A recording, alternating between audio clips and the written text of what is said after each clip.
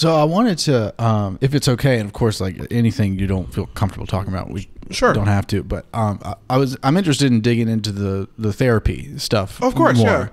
Um, Yeah. just because I mean, I find psychology interesting, and just like, so what was what motivated you to start going to therapy? And did you have like trepidation beforehand about like, I don't know if I want to go to therapy? Yeah. or- I was I didn't have trepidation for uh, therapy, but I did have it for just like a lot of the um, a lot of the diagnoses or like um, and I still kind of wrestle with that a little bit. Just a lot of the diagnoses or treatment or whatever. Um, I think uh, I started going just because um, I was very I was depressed without doing stand up, and I was depressed at the prospect of like you know kind of that stress we talked about of like what when am I who do I what do I do? Do I even want to like jump back into this rat race and everything, um, but also like um, it was 2020 and um, I used to work like I said I used to direct the morning news. And so that meant every day I was waking up at like 2.30 3 o'clock going to the news station and starting my day with two hours of news like an hour and a half of the broadcast and a half hour of like uh, you know cut-ins which is a horrible way to start your day. Because I'm immediately starting my day with I'm exhausted one because I'm still doing stand up at night and sleeping for four hours and then going to go do the uh, the station. But um, you're starting your day with the worst news. And I had been at the station I started working there 2015 I think. So yeah 2015 so every time um, an unarmed black person is killed by police and it's on video, the news airs it. Right. And so my job as the director, every time a tragedy like that would happen, I would watch someone die. Yeah.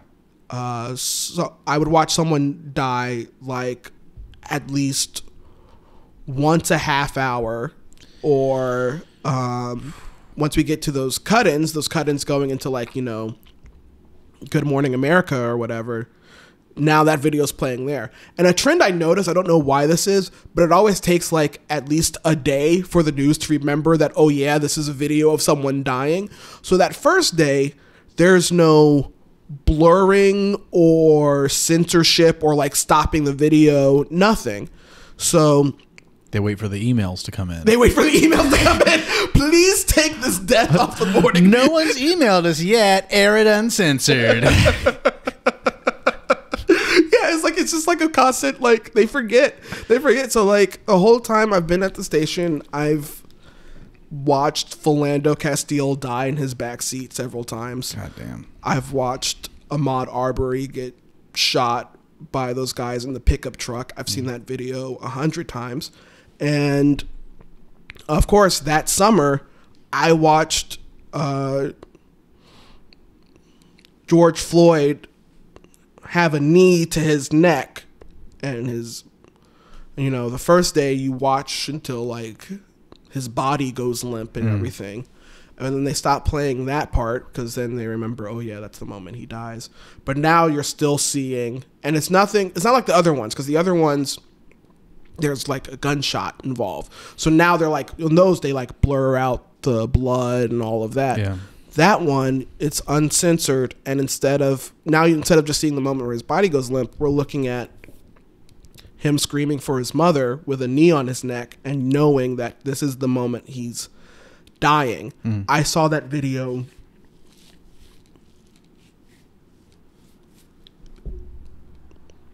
It was a lot. It was an. It was a Yeah. lot of times of um, seeing that, and every time it was in the news, which of course it was in the news a lot because we had that happening, and then there were several protests, and for whatever reason, we can't just be like, and then this protest happened. We have to be like, this protest happened uh, because of this thing I know you've already seen before, but we're gonna play it Play again. it again, yeah, Jesus. And then Chauvin's on trial, so now we're gonna play it because he's on trial, and then the other officers are on trial, so now we're gonna play the video again because they were on trial. So I, that video played all summer, Yeah. and by the time I This became your world. yeah, yeah, just watching George Floyd die and not um but that's after years of having already watched um you know Walter Scott, Philando Castile, Ahmaud Arbery, like watching all these videos over and over again. So by the time I got to therapy, like I was just that was the thing just like openly talking about just being like I watch people who look like me die as part of my job. And I work with people who I don't think think about how that weighs on my psyche or the psyche of black viewers when they just play these videos over and over again. Any other act of violence that happens, there's like a kind of decency to it mm-hmm. of like, oh no, we caught the security security footage of a home break in or whatever Yeah. it is. And you, it's described, it's horrific, like the, the violence is described or whatever, but you don't watch that video over and over Right. again. It's really just with these cases Yeah. Where you watch these black bodies get killed over and over. Um, so yeah, that was a lot of it. Was just like kind of dealing with. My therapist was the first person to use the word trauma about it, which I hadn't really thought about, just because trauma always that always feels personal. like yeah, yeah, like that's Something your like- parents did to you at a very early age. right Yeah. yeah, Yeah. like it yeah exactly it felt like too it always feels like too heavy a word like no people other people have trauma i don't have trauma i can't i can't claim trauma but um so yeah just having someone to talk to about that and someone to and my therapist is black so just kind of like also validating like yeah that's not that's not you being weak. That's not you being like Yeah. that's um to just kind of someone it was just help that part of it was just helpful to have someone validate that. And uh it's been helpful to have um like she kind of uh gets what I've been trying to do with comedy and Yeah. gets like um um, also, she thinks I'm funny, which, like you know, isn't important, but of course it is Yeah. to me. Uh, if my therapist didn't think I'm funny, I'll get, I'm getting another therapist. Yeah, yeah. Um, but I like that bit too. Uh, you were doing the other night about um, not being sure if your therapist likes Right, you. yeah, it's like I don't. Who do I talk to about this if I don't? Because that's the thing we talk about for real is just like you don't have to make everybody happy. Mm-hmm. You don't have to have everybody like you. And it's like, of course I do. You like me though, right? But do you like me? It's Yeah, like, yeah, yeah, yeah. Dude, I had a whole thing where like when I dip, decided to dip my toe into therapy, like the way I would go about selecting my therapist, went on Psychology Today, yeah, and and like I admit that the reason why I feel like my my main issue I want to go to therapy about is I'm just bad at romance. Uh, I you know I I uh, Right, right. get um, ignored and ghosted a lot and don't really know why. And so anyway, I was going through psychology today. Of course, I was going through and selecting the hottest female therapists and just like Tinder and I didn't realize. I didn't realize that was a sorting feature. I didn't realize it's like. well, I'm just going going through like checking the box. Female, please. um, and it's just like single. And uh and so anyway and so like i i set aside maybe 10 to 15 sent out the first message or whatever to be like hey i'm interested my name's karen i'm interested in seeking therapy here's my number i'd like to have a consultation Yeah, and uh i only got two responses it is like Tinder. yeah, they they didn't even most of them didn't even respond, and the ones that did, we started a conversation, and then they ghosted me. and then, I, and this is true. And then I finally went to therapy, and I, I I found that therapist I really liked. I was getting along, and I felt like I was making progress. I really liked her approach. And then one day I get a call, it's like your therapist doesn't do therapy anymore. She's quit okay, well, do you do you have her number? Can I do it with her private? No, she's not doing it at all anymore. Do you want a different therapist? I guess. Oh, buddy, I'm sorry. Oh, it's like, oh my like, gosh, it is funny yeah. though. It is funny. And, and also, like you know, I, I feel that that that problem again compared to yours or, or most people's problems, it's just to me. I ultimately, even when I did, I went to the next therapist, and within three sessions, like I'm reinforcing a nothing problem here by coming here. Like I'm, I'm paying 150 dollars a week just to go. Man, to well me. You know, I can't get a girlfriend. but it's, I pretty much said that to my therapist. She was like, "What are some like?" We were talking about my financial situation. She's like, "What are some expenses you could cut out of your life that would maybe improve your your financial situation?" I was like, "To be honest with you, number one would be going to therapy." this is the most. I was like, you are a drain. Yeah. This is, This you is- are a luxury item. Yeah. And I was like, it's like, well, do you feel like you're getting used? I was like, no, honestly, I feel like I'm spending an hour reinforcing problems that really barely exist. but That's anyway- funny. Anyway, That's funny. But back, Yeah. back to your thing. So, like, Yeah, yeah, no, but that's that's that's really funny. I'm glad you enjoyed that. I am dying on the inside about it. I've, I've definitely also have had sessions where like we, a lot of things we talk about are like time management Mm. and everything, and like because I'm horrible at it. I'm horrible at time management, and my thing one of my things is I constantly feel like I don't have enough time to do all the projects I want to do, but also all of the things I have to do to, to stay alive and everything. Yeah. And um, we are having a session, and my therapist was talking to me about time management and being deliberate with my time and how I need to like you know prioritize and schedule my calendar better and everything. And I'm talking to her knowing that it's like ten o'clock. I still have a full work day ahead, and when hmm. I get off this call, I'm gonna have to go do like like being on the call is stressing me out because I know all of the things I have to do after I get off of the call. Yeah. yeah. Yeah. I was like, so it's just kind of like, if I was managing my time better, I would not have taken a therapy session right now. This is a bad day for it. Yeah. Well, maybe I can ask you for advice because you've managed to get a wife. And Get on Tinder. Uh, no, is, that, is that how y'all met? we met on Tinder, yeah, which is a thing I often forget Yeah. because uh, she was the first Tinder date I went on. that's that's lucky. Yeah, I Nailed yeah. it the first. and uh, she she she gets annoyed when I say that because I was not. Uh, She's not proud of that. she's not. She's She doesn't have Tinder like, did pride. you did you settle? No, um, I wasn't her first Tinder Tinder date. She'd already been on the site for like a while, and so she's she's a little jealous of my one for one completion rate.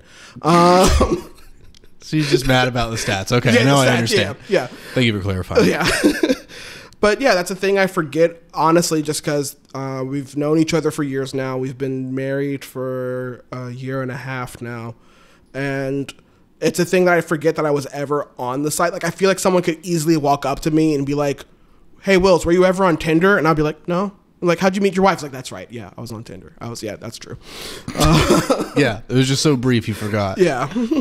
But it was but it also feels it like at this point at this distance it also feels out of character for me to Mm-hmm. Yeah, be yeah. on for me to be on Tinder Yeah, ever. So like um What led you to that decision? Was was it just kind of like a impending loneliness of just like oh absolutely yeah yeah yeah yeah yeah yeah absolutely um and it was this thing where like I didn't know how much longer I was going to be in Wilmington. I was thinking I was going to be in Wilmington maybe like it was like it could be another 5 years, it could be another 5 weeks, who knows. Yeah. But I um yeah, I tried online dating a f- like a half a year earlier than that. Went on one date, went on one Bumble date, and was like, you know, I was coming, was like a few months off of a breakup too. So I'd been single for a few months, went on Bumble, went on one date, and I was like, I'm not ready to do this. I don't want to meet folks. I don't want to like I don't want to do a relationship. I don't want to like I am still like this is too close to the to the to my previous relationship. So, um gave it like another like half a year plus like just several more months of like just uh yeah i don't i think the decision i think loneliness is like the best answer to that honestly it's the Yeah. most honest answer to that just because i did want to like it was also just like a feeling of like I kind of uh, look at my life like it's a sitcom. like it's like this season of the show has been a real downer. Um, I think we need to bring a new character Yeah, in here. bring to in a shake love things. interest. Bring in a love. It's time for the love interest arc. Yes. It's time to. It's time to, or at least um, yeah, it's uh, it's just like bringing a new character in here, Mm-hmm. shake things up. Do you actually actively think of your life as a sitcom? Oh yeah. yeah. That's that's a, a beautiful format to, Yeah. to think about life in. Because I always say the way we can like conceptualize our reality is a story, Right. and so like to give it a specific format to that story.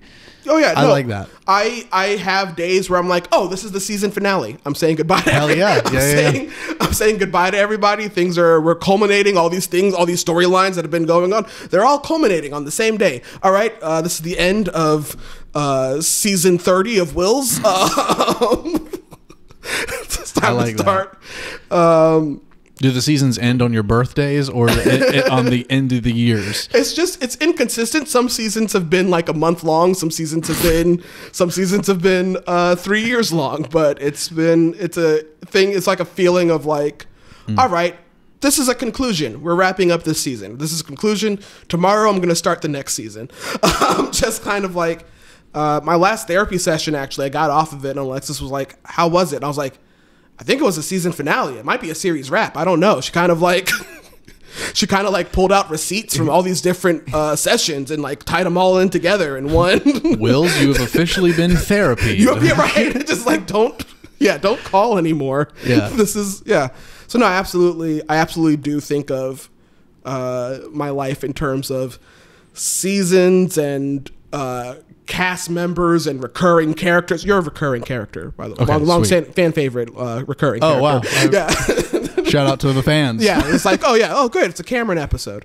Uh, but yeah, that's absolutely how my life looks in my head. Nice, nice. I like that a lot.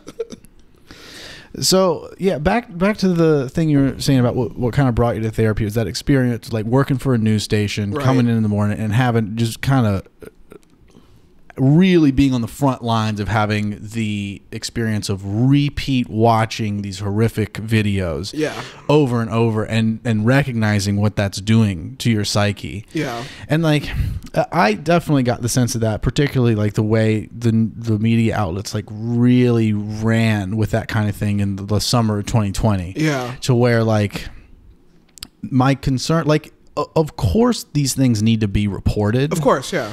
but to over report is a is a danger like I think honestly, I think just there's an awareness we want to bring. right Uh, police brutality is a real, long-standing thing. More of these incidents are not recorded than the ones that are. Uh, we're still hearing, even now in the age of body cams, we hear all these stories where like so and so ran into a police officer, they're dead now, and the police officer's body cam stopped working one minute before they died. Yeah. like it's a real thing that you want to bring awareness to.